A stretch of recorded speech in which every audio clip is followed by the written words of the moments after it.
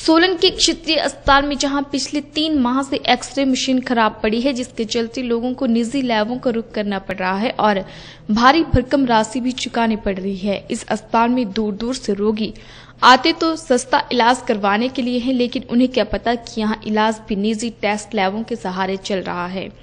हद तो इस बात की है कि एक्सीडेंट केस हो या मारपीट का तो मेडिकल में निजी लैबों का तो एक्सरे चलता नहीं, इसलिए घायलों को पुलिस गाड़ी में बिठाकर धर्मपुर ले जाते हैं तो इनका मेडिकल हो पाता है। इस बारे में शहरवासियों ने रोष प्रकट करते हुए कहा कि सोलन में अस्पताल में चिकित्सकों की संख्या पहले ही कम थी, ऊपर से अगर वो कोई टेस्ट या एक्सरे लिख देते हैं तो उनके लिए निजी लैबों में जाना पड़ रहा है और यह अव्यवस्था करीबन तीन माह से लगातार चली हुई है। लेकिन स्वास्थ्य विभाग न जाने क्यों आँखें बंद कर कुंभकर्णी नींद सोया पड़ा है।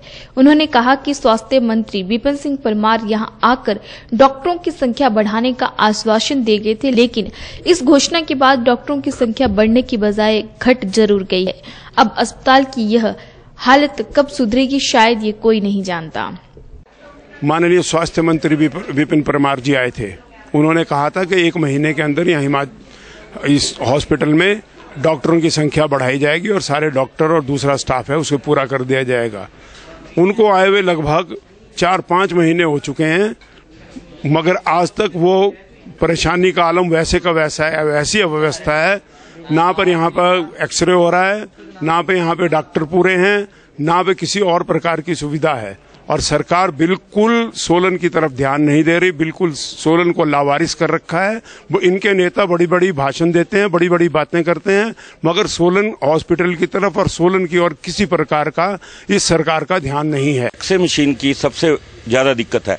जितने भी इनके टेस्ट के इंस्ट्रूमेंट हैं, चाहे वो अल्ट्रासाउंड है एक्सरा मशीन है, वो सभी आउटडोर के लिए लिखते हैं और प्राइवेट से पेशेंट्स को भारी दिक्कतों का सामना करना पड़ता है, जिससे कि आम जो पेशेंट है, उनकी माली हालत पर बड़ा फ़र्क पड़ता है। वो दवाई लें या टेस्ट कराएँ, ये बड़ा देखने को सोलन हॉस्पिटल में मिल रहा है। अरे, यहाँ क्षेत्रीय अस्पताल के बहुत बुरे हाल है।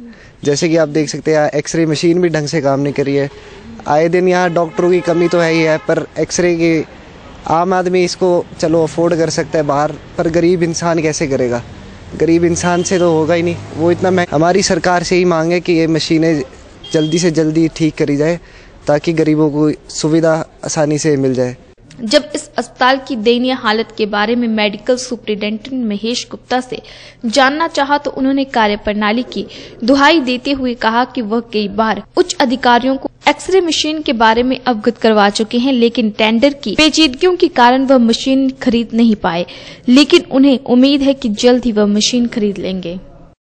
आर एस सोलन की एक्सरे मशीन काफ़ी वक्त से ख़राब है। हमारी 500 सौ की जो मशीन है, उसके लिए हमने बार बार अपनी हायर अथॉरिटीज़ को लिखा और हायर अथॉरिटीज़ हमें बार बार एश्योर करती रही कि टेंडर्स जो हैं वो इसके स्टेट लेवल पे हो रहे हैं। पर फाइनली जब ऊपर टेंडर्स नहीं हो पाए तो उन्होंने हमको अलाउ किया कि आप अपने टेंडर्स फ्लोट करें।